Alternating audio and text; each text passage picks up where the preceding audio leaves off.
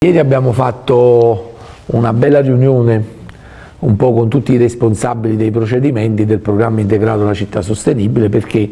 eh, diciamo, i prossimi due o tre mesi saranno quelli della consegna definitiva alla città di questi interventi. E, e sono veramente molto contento perché abbiamo fatto degli interventi eh, tra il momento in cui li, li avevamo immaginati nella, nella nostra testa a vederli oggi realizzati veramente una grande soddisfazione. L'altro giorno mi ha chiesto un cittadino sindaco ma li vediamo continuamente, tante aggressioni che riceve, insomma ma chi, chi lo fa fare a un sindaco? Ecco questa è la risposta, eh, lo fa fare a un sindaco che è appassionato di politica, innamorato della propria città, il fatto di poter vedere un'idea di trasformazione di un pezzo di città e poi di realizzarla. È questa la, la ragione fondamentale per cui ci si impegna nell'amministrazione della propria città. E allora l'altro giorno sono andato a vedere lo stato dell'arte dei lavori a San Pietro, dove abbiamo sostituito, eliminato i due campi prefabbricati San Pietro 1 e San Pietro 2 realizzato un intervento bellissimo di riqualificazione urbana, intorno al quale, ed invito già tutti i cittadini che mi stanno ascoltando ad andarsi a fare una passeggiata per andare a vedere, perché già è praticamente completato il lavoro, una riqualificazione urbana che potrà dare nuova centralità e nuova identità a una frazione molto bella e molto importante che è quella di San Pietro. Quell'area che abbiamo oh, destinato a questo intervento, rispetto, sulla quale c'erano i prefabbricati eh, ereditati del terremoto degli anni Ottanta, è un'area che nella storia e nella tradizione di San Pietro era l'area dei genovesi, di questa grande famiglia, Palazzo Genovese c'era là,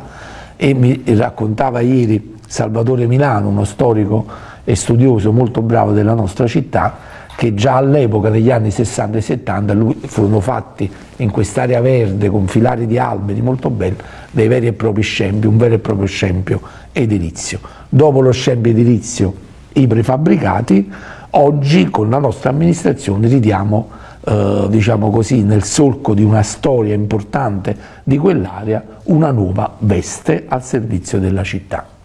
Poi sono andato a Santa Lucia, anche lì dove c'erano i campi prefabbricati abbiamo finito, abbiamo praticamente finito, un lavoro eccezionale, mm, ho visto, diciamo, ci sono andato, i cittadini sono molto contenti di quello che abbiamo realizzato, per, peraltro lì abbiamo, mentre a San Pietro abbiamo costruito un'area per lo sport all'aperto ed un campo di bocce ulteriore vicino al campo sportivo e questa bella passeggiata nel verde, a Santa Lucia abbiamo fatto anche un parco inclusivo per consentire il gioco eh, anche a bambini che hanno una qualche difficoltà, hanno una qualche disabilità e di questo sono molto molto orgoglioso. E eh, anche lì c'è un'area per lo sport all'aperto, oltre ovviamente tutta una serie di cose, anche qui invito non soltanto i cittadini di Santa Lucia, ma tutti i cittadini cavesi ad andare a vedere. È pronta praticamente. Così come inaugureremo a stretto giro, lì dobbiamo vedere come la gestiamo, l'Oasi di Diecimare. Eh, L'Oasi di Diecimare dovrà essere il luogo intorno al quale si restituisce una nuova identità ad una frazione bellissima che io amo molto, che è la nostra Sant'Anna. E l'Oasi di Diecimare dovrà essere, diciamo, dovrà stimolare le passeggiate nel verde in una frazione nella quale Sant'Anna c'è il prodotto tipico, eh, si fanno alcuni prodotti particolari che vengono eh, il miele e altre cose diciamo, di cui quella frazione si caratterizza e poi ovviamente un po' di agriturismo, dei B&B intorno al progetto dell'Osi di Riecimare che io mi auguro possa diventare un giorno con una legge regionale ad hoc il parco di Riecimare. Anche qui invito i cittadini ad andare a vedere. Così come invito tutti quanti ad andare a vedere quello che stiamo facendo sul nostro castello, ci vorrà qualche settimana in più, ma è veramente una cosa meravigliosa che abbiamo fatto e che diciamo, consegniamo veramente questa alla storia di Cava dei Tirreni. E eh, così come pure a San Martino, l'eremo di San Martino, sta avvenendo un capolavoro, lì faremo un lavoro con eh, la parrocchia, con la chiesa, con, ne parlerò con il nostro vescovo per fare un progetto di gestione integrato, trattandosi sostanzialmente l'eremo di San Martino di un luogo religioso, ma che noi vorremmo far vivere anche per tutta la comunità eh, di San Martino, ma non solo, immaginando dei concerti di musica classica, eccetera. Insomma, dobbiamo anche lì immaginare un momento di gestione insieme. Veramente tante tante opere importanti per Cava, poi ovviamente c'è l'opera che a mio avviso sarà, è stata quella più discussa ma alla fine sarà quella più apprezzata, che anche rientra nel programma integrato della città sostenibile, che è il parco urbano, che è ormai è pronto, già visibile. Apriamo questo primi due terzi, diciamo così, del parco urbano nei prossimi giorni, anche per consentire l'attraversamento da un pezzo all'altro della statale 18, perché i cittadini che devono fare tutto un giro, diciamo, li vogliamo sollevare da questo sacrificio che hanno fatto, ma per un'opera veramente molto molto importante. Insomma, per non dire poi del Museo della Ceramica Mediterranea Contemporanea, domani mattina, sabato eh, 3 febbraio, riceverò la visita gratitissima del sindaco di Faenza, Faenza è una grande città di tradizione ceramica, e ha sentito parlare del nostro museo, mi ha chiamato che lo vuole venire a vedere. È una cosa di livello internazionale, fatta di grandissima qualità, anche qui dovremo cercare di valorizzare al massimo questo messaggio che abbiamo costruito. Insomma, per quanto riguarda il programma integrato della città sostenibile, siamo ormai alle battute finali per consegnare tutto questo alla vita della città. E per quanto riguarda Piazza San Francesco,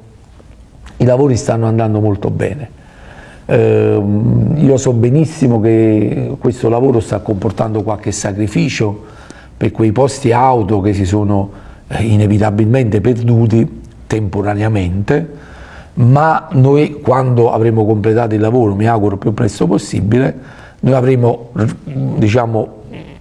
potenzialmente quasi raddoppiato i posti auto, se va in porto un'operazione che ci consentirà di avere 60 posti auto in più interrati, non anticipo molto, dico soltanto che la settimana prossima per consentire questo tipo di investimento in piazza San Francesco avrò un appuntamento eh, a Roma eh, per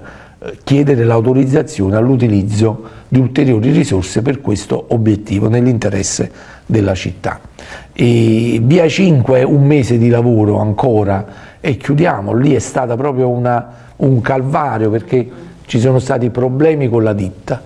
l'impresa è andata in amministrazione controllata perché si è sospettato potesse avere uno dei rappresentanti, non ho capito bene chi, dei collegamenti di carattere eh, diciamo, insomma, che hanno generato l'attenzione della, della, prefettura, si è perso del tempo, i lavori sono andati avanti, comunque si sta procedendo e mi dicevano i tecnici ieri che entro un mese di lavoro poi potremo riaprire finalmente via 5 in sicurezza abbiamo messo in sicurezza tutto quel costone che stava cedendo. Voglio dire da questo punto di vista che molti, molti apprezzamenti sta avendo il lavoro che stiamo facendo alla discesa dei Cappuccini. Lì ci sono i, i, i basoli, i Pietini piccoli, stanno facendo veramente, anche qui una ditta molto molto brava, sta facendo un lavoro puntuale e lì c'erano proprio degli avallamenti e quindi abbiamo fatto anche via Tenolfi eh, perché pure era messa male, così come abbiamo fatto il viale Garibaldi con la sistemazione delle mattonelle eccetera. E poi l'altra mattina, questo è un lavoro che sta facendo la provincia, sono andato a Rotolo, lavoro complicatissimo, anche lì si, si lavora in un vallone, ma mi pare che dopo tanta attesa insomma, c'è una svolta nei lavori di Rotolo. Eh, sono cominciati anche i lavori della Simonetta Lamberti a Pregiato. So che la comunità di Pregiato aspetta fondamentalmente due cose, aspettava la restituzione della scuola alla comunità e ovviamente eh, la messa in sicurezza di quel complesso storico che da tanto tempo eh, diciamo, corre il rischio, l'asilo pastore mi riferisco, corre il rischio di caderci addosso lì. Porteremo in Consiglio Comunale una piccolissima variante urbanistica che ci consentirà di mettere in sicurezza e di fare un intervento importante anche sull'asilo pastore. Pregiato nel corso di questi anni è stata un po' trascurata ma con questi due interventi importanti e cioè quello della scuola, che i lavori sono già cominciati e stiamo cercando risorse anche per la palestra e con la messa in sicurezza e la riqualificazione dell'asilo pastore, eh beh, anche lì diciamo, avremo lasciato un segnale importante per una frazione a cui tengo molto. Eh, nell'ex Eca, cioè nel portone del carcere, noi abbiamo il museo di Mamma Lucia, il museo della ceramica mediterranea contemporanea e il teatro che è partito. Quando entrammo lì per la prima volta non c'era niente, così come non c'era niente neanche a San Giovanni e c'era soltanto la palestra decadente di Piazzetta Parisi. Oggi è un luogo di grande vitalità e c'è anche la sede ehm, nella quale abbiamo una copia della pergamena bianca per cui quando avremo completato quello che chiameremo Palazzo della Cultura Tommaso Avagliano, chi entrerà lì avrà una serie di cose, il presepe, l'associazione, il museo, due musei, quello di Mamma Lucia e quello della ceramica ed il teatro di fronte. In più c'è quella corte nella quale si può immaginare un baretto, qualche cosa, eh, qualche concerto, in modo da restituire eh, ecco, a proposito di svendita di tutto, ecco qui stiamo restituendo invece alla città eh, una cosa importante. Io penso che con la piscina comunale abbiamo fatto eh, un sacrificio, ma questo tempo è servito per realizzare un intervento molto bello. E oggi, diciamo, fine febbraio i lavori sono finiti, già l'ufficio sta predisponendo il bando per trovare un gestore che metterà in funzione la piscina, perché ovviamente è un'attività che noi dobbiamo chiedere ad un operatore di carattere professionale, sperando che l'esperienza un po' negativa che abbiamo fatto in tanti anni con il gestore precedente possa essere una esperienza più proficua e più importante per la città. Però la piscina ci tengono tanti e quindi è un fiore all'occhiello di Cava dei Tirreni e ormai ci siamo, è pronta chi vuole andare a vedere, insomma non so se si può entrare, è ancora un cantiere ma vedrà eh, il capolavoro che è stato fatto lì. Eh, quello che dobbiamo sistemare sono un po' le aree esterne che sono un po' abbandonate, ma io credo che per luglio la piscina potrebbe entrare in operatività, al massimo per il prossimo settembre.